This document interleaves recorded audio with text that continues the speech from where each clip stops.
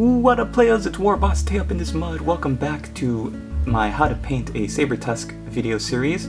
Here you can see we finished our Sabretusk, gave it a nice amount of detailed highlighting. So this is how we did it. We use XV88, Mechanicus Standard Gray, Incubi Darkness, just dropped my Averland Sunset. Averland Sunset. Abaddon Black. Seraphim Sepia. Ushabti Bone. Pallid Wych Flesh. And Blood for the Blood God. So, I hope you guys enjoy. And uh, thanks for watching. Stay tuned for the next video. Latest players. Hey you guys, welcome back. Here is our Sabretusk ready for more painting. First thing we're going to do is we're going to take XV88 and we're just going to highlight up, highlight back up the skin tones that got a little bit dark because of the shading. So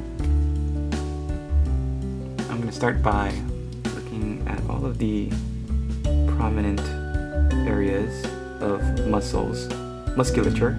This guy's musculature that we can highlight back up. Using short strokes like this, you're able to feather the paint out. And we're just looking for areas like the where the muscles bulge the most.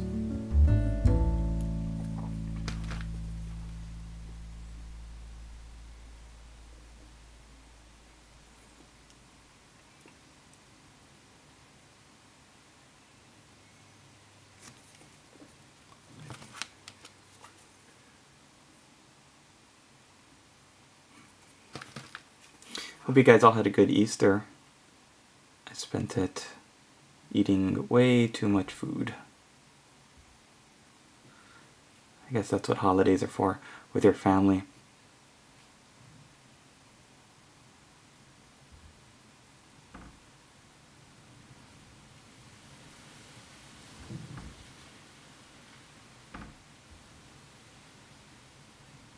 Remember, if you feel like you make any mistakes, then just go back with your Seraphim Sepia and paint back over. Shade it one more time. That's the good thing about Seraphim Sepia is that it's not as dark as Agrax Earthshade, so gives you a little bit more playing room.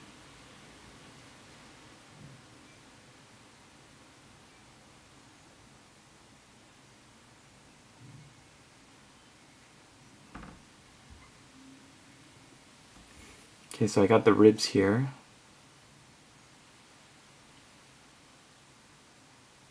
Also highlighted that up right here on the back.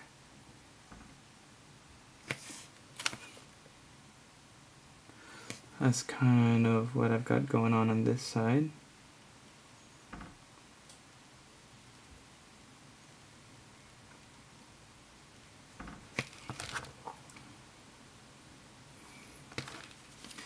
Just gonna kind of do the same thing on this side.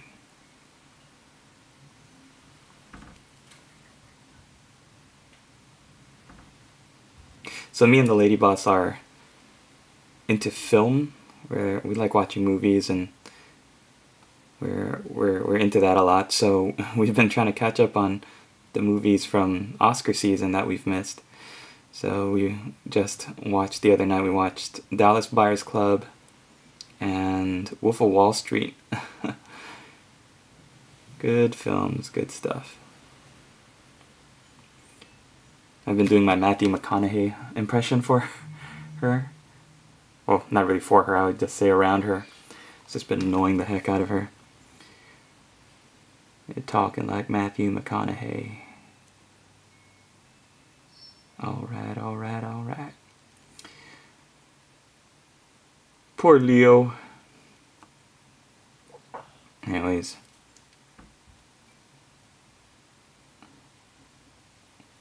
So, let's talk about something you guys would be interested in a little bit more. These um, Sabretusks, I've been reading more on the tactics on how you would use them if you are an Ogre Kingdoms player. And yeah, I'm surprised I don't see them in more lists. The way you can kind of use them to really just harry the opponent's backfield is just seems like pretty smart to me.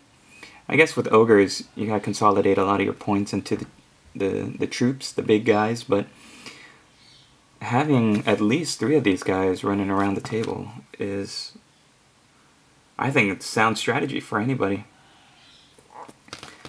They seem to be pretty cheap, and not many lists I've seen lately contain Gnoblars in them.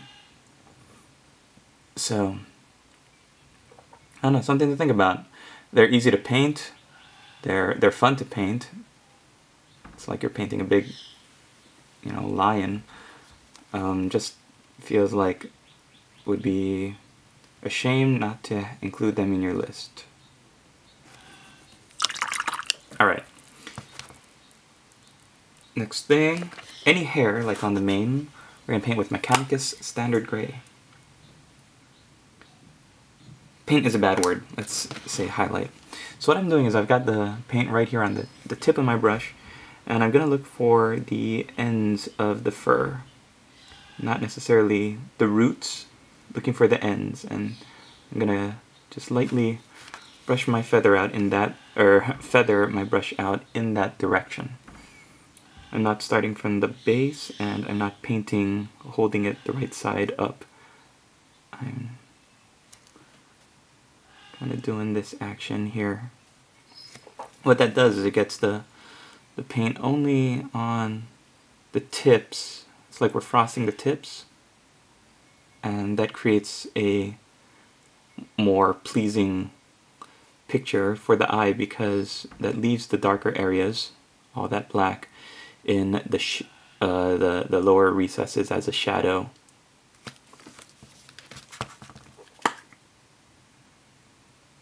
It's like the, the poor man's way of, of highlighting.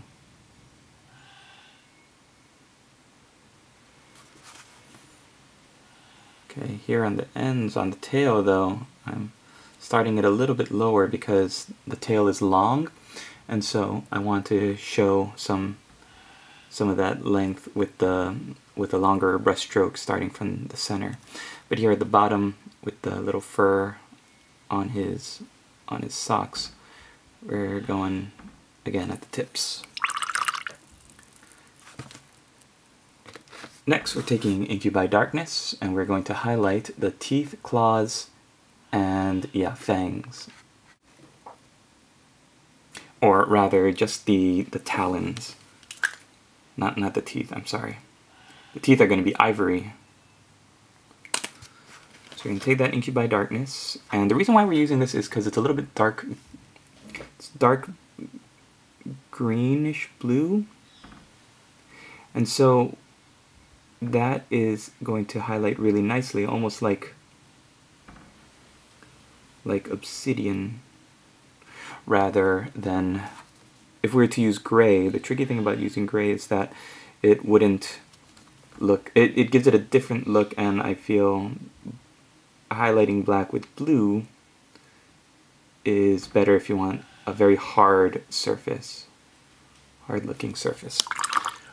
We did gray for the hair and I think blue for the, the feet. That's gonna look a little bit better. Okay, what I'm doing now is I'm gonna take some Rakarth flesh. If you mess up and you want to clean clean your models, do I have any? Where's my Rakarth flesh? Here you are, master. Oh, thank you, Igor. A scholar and a gentleman. I have no idea what that means. I just operate the camera and get you the paints you want an expression, Igor. But what does it mean? I don't want to be a gentleman or a scholar.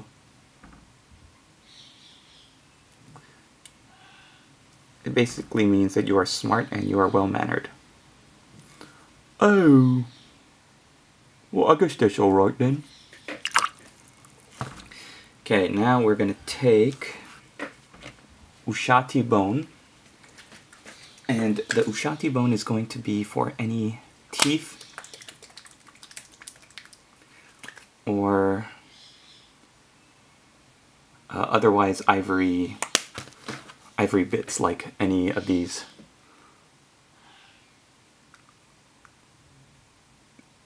bone pieces.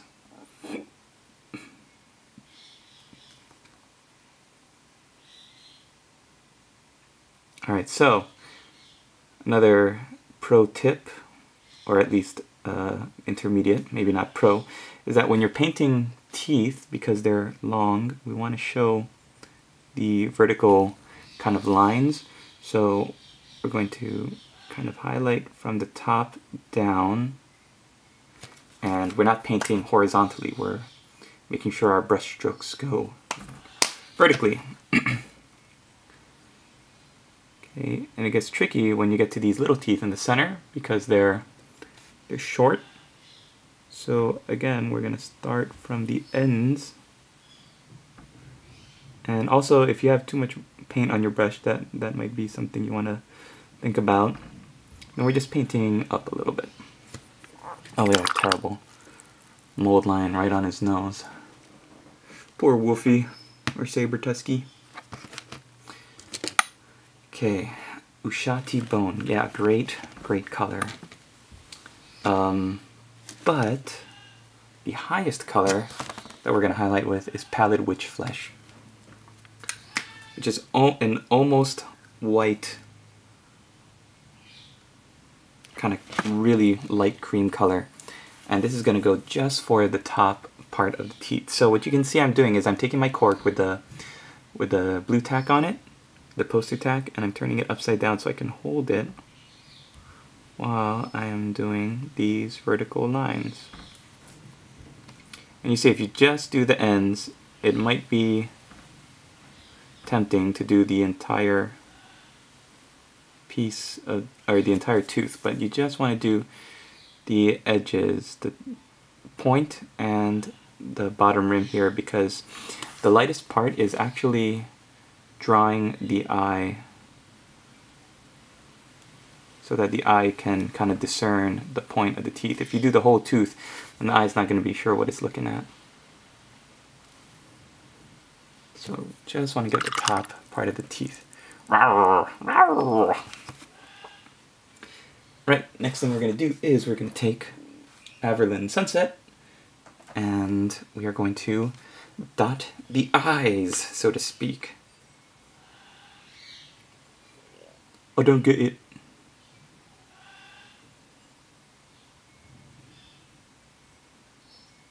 It's an expression again, Igor.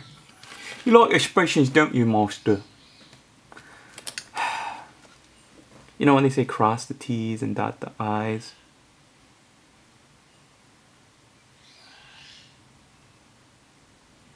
No. It's for, you know, when you're writing things. Writing? I don't do no writing, master. All I do is, yeah, I know, operate the camera and get me the paints I need. Alright, so once you get your yellow on the area, we're gonna kind of paint back around it. So we're gonna take our Abaddon Black and we're going to, first thing is paint around the eye, anything that we got yellow in the eye socket that we don't want to be yellow.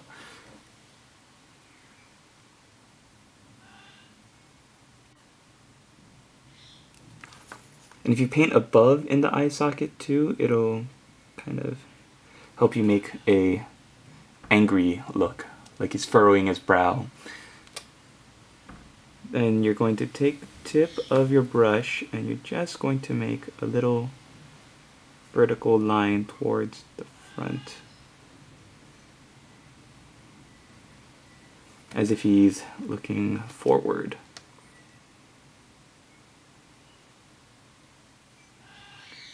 Oh, I don't know why my hands are all shaky today. It's because I haven't eaten that much.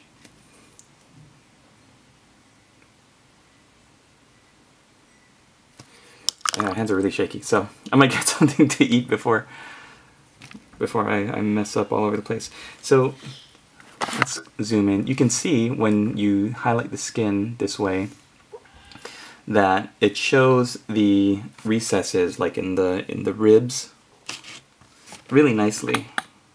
Let's see if I can find my Seraphim Sepia and we'll do some do a little bit of, of, sh of shading, final shading before we finish here. Alright, Seraphim Sepia. This is the last part we're going to do. We're just going to do some selective shading. So we know that the shad we know kind of where the shadows are, like right here under the foreleg, right? So we're going to just kind of emphasize that. When you're doing a second shade like this, you just want to emphasize the parts that you've already shaded, that you haven't re-highlighted. And if you have Lahmian Medium, this is also a pretty good product to use because it thins down the shade a little bit. But you don't really need it. I find that just using a minimum amount and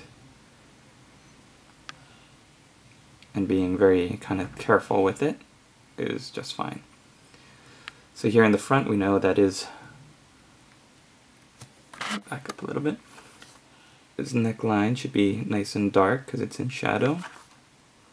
Same thing here on the opposite end. We're basically just trying to make sure that the highlighting isn't too stark. It's not creating like extra stripes, false stripes.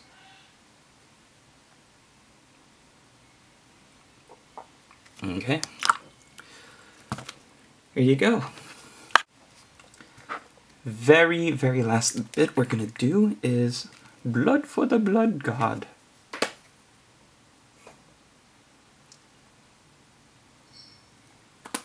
It's a technical paint. If you don't want to use this, I also highly, highly recommend Tamiya Clear Red. So all we're going to do is paint on the side and drag down little little bits of blood.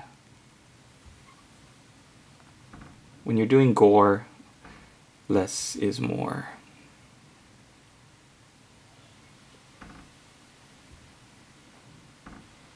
If you spatter it all over, then uh, unfortunately it's going to kind of ruin the effect that you're going for. But if you're just painting it and streaking it down a little bit like this, then it looks, it kind of gives you the effect that you want.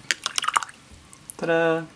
I still think that might be actually a little bit too much gore, but yeah, what are you gonna do?